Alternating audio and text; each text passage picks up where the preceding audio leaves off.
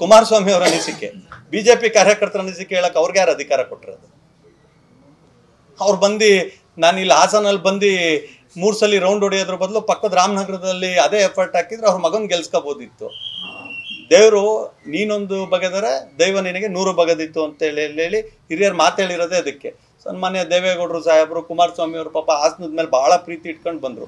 ಅದೇ ಪ್ರೀತಿ ಮಗನ ಮೇಲೆ, ಮೊಮ್ಮಗನ ಮೇಲೆ ತೋರಿಸಿದ್ರೆ ರಾಮನಗರ ಗೆದ್ದಿರೋರು. ನನ್ನನ್ನು ಚುನಾವಣೆಯಲ್ಲಿ ಸೋಲ್ಸಕ್ ಬಂದ್ರು.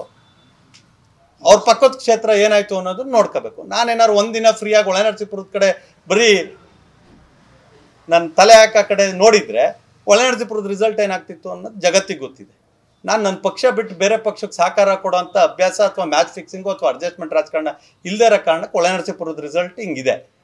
ನಾನು ಏನಾದರೂ ದ್ವೇಷದ ರಾಜಕಾರಣ ಅಥವಾ ಇನ್ನೊಬ್ಬ ಒಕ್ಕಲಿಗ ಬೆಳಿಬಾರ್ದು ಅನ್ನೋದ ಕ್ಷುಲ್ಲಕ ರಾಜಕಾರಣ ಏನು ಮಾಡ್ತಾರೆ? ಆ ಆ ಥರದ ರಾಜಕಾರಣ ನಾನು ಮಾಡಿದ್ದಿದ್ರೆ ಒಂದಿನ ಒಳನರಸೀಪುರದ ಕಡೆ ತಿರುಗಿ ನೋಡಿದ್ದಿದ್ರೆ ರಿಸಲ್ಟ್ ಏನಾಗ್ತಿತ್ತು ಅಂತ ಇಡೀ ಒಳನರಸೀಪುರದ ಮತದಾರರಿಗೂ ಗೊತ್ತಿದೆ.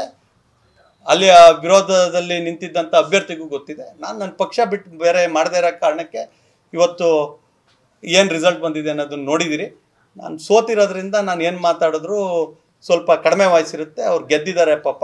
ಹಂಗಾಗಿ ಅವ್ರದ್ದು ಜಾಸ್ತಿ ನಡೆಯುತ್ತೆ. ನಡೀಲಿ. ನಮ್ಗೆ ಹಾಸನ ವಿಧಾನಸಭಾ ಕ್ಷೇತ್ರದ ಮತದಾರರ ಮೇಲೆ ನಂಬಿಕೆ ಇದೆ ಆ ನಂಬಿಕೆ ಮೇಲೆ ನಾನು ರಾಜಕಾರಣವನ್ನು ನಾನು ಮಾಡ್ಕೊಂಡು.